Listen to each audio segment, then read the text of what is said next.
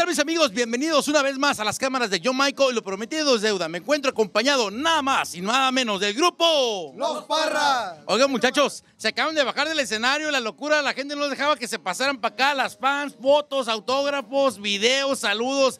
¿Qué se siente estar ahorita en estos momentos disfrutando de este éxito? No, la, la verdad bien bonito, ya teníamos tiempo queriendo regresar aquí con la gente de Anaheim, California, y pues nos recibieron bien machín, la neta, la energía que, que nos transmitieron arriba del escenario estuvo pasada de lanza machín.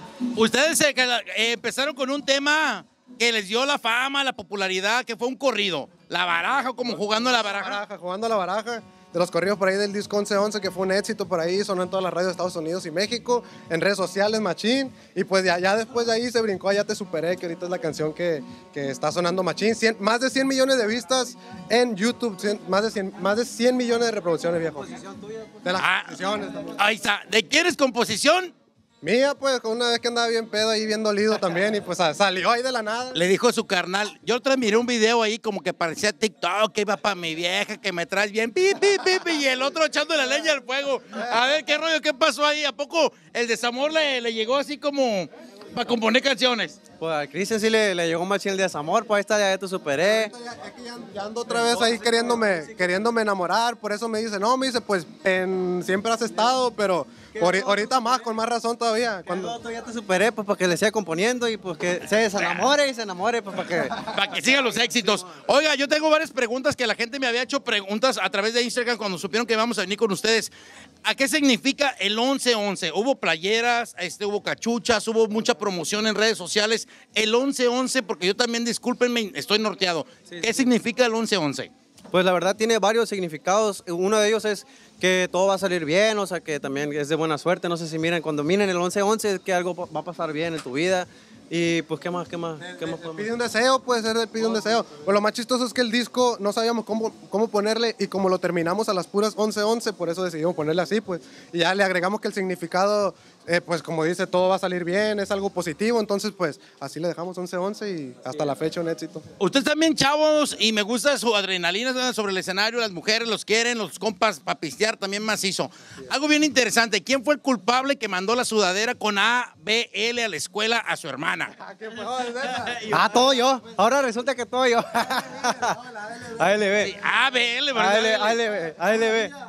Amo la vida, arriba la vida, lo que quieran, pero... Le preguntaban, le preguntaban los amiguitos de mi hermano, oye, ¿qué significa ALB? Y mi hermanita, amo la vida acá, bien, bien quita de la pena. Nada, que pues a ALB ya saben qué Los maestros significa. que sabían, los maestros que sabían, sí le, le regañaron, ¿verdad? Le regañaron. Después de que la regañaron. Oiga, muchachos, ahorita que está muy fuerte de moda las colaboraciones, los duetos. Ahorita está interesante aquí con la agrupación porque son tres hermanos y dos hermanos. Entonces, ¿me presentas a tu agrupación de allá para acá? Hola, soy Eddie, toco el bajo. Carlos Parra, aquí vocalista. Cristian Parra, acordeonista y vocalista también del grupo. César Parra, bajo quinto y voz. Enrique Pérez, baterista. Ahí están los dos hermanos y tres hermanos. Está interesante, está Tres y interesante. dos, Tres y dos. Oiga, ahorita que está de moda las colaboraciones, ahorita pues está una colaboración entre carnales, ¿no? Simón. Si para hacer un dueto de amor, de desamor o, o corrido, ¿con quién les gustaría trabajar en el futuro? Eh, estamos checando ahí, estamos tratando de hacer un dueto con nuestros compas de Grupo Firme. Próximamente ahí mi compa Edwin ahí ya me puso que, que Simón, que sí se jala para el dueto.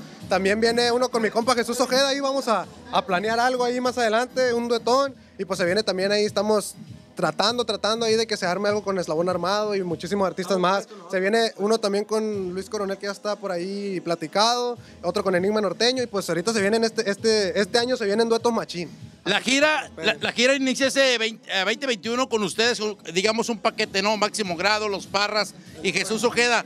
¿Esa gira va a cubrir todo Estados Unidos y parte de México o solamente la Unión Americana? Si Dios, si Dios quiere, sí, ahorita empezamos acá en Estados Unidos, las cosas van bien machín, van bien perrón. Esperamos próximamente brincarnos para allá, para México y empezamos por allá. Está algo en pláticas ahí también por Tijuana y Mexicali próximamente. Algo bien interesante, eh, ese tema que traen ustedes de, de cortavenas, de desamor. No sé si sabían por ahí, pero suena- está muy fuerte sonando en Colombia. ¿No Ah, también, sí, está bien sí. fuerte en Colombia. Nos han mandado muchos mensajes de Colombia, de Chile también por allá, que anda sonando la rola y hasta por allá andan bien dolidos también, por allá y pues a toda la gente por allá de Sudamérica y toda la- todos los países que la apoyan. Muchísimas gracias de todo corazón. Son pues 100 millones de vistas ya, imagínense, en todos lados. No, pues eso hay que de festejar, te vamos a agarrar la fiesta aquí en la noche con los Parras. Bueno, informó para las cámaras de Yo Michael, su amigo y servidor Marcellam, y ellos son... Los Parras, compa Marce, eso. Y ya te superé. Tóxica.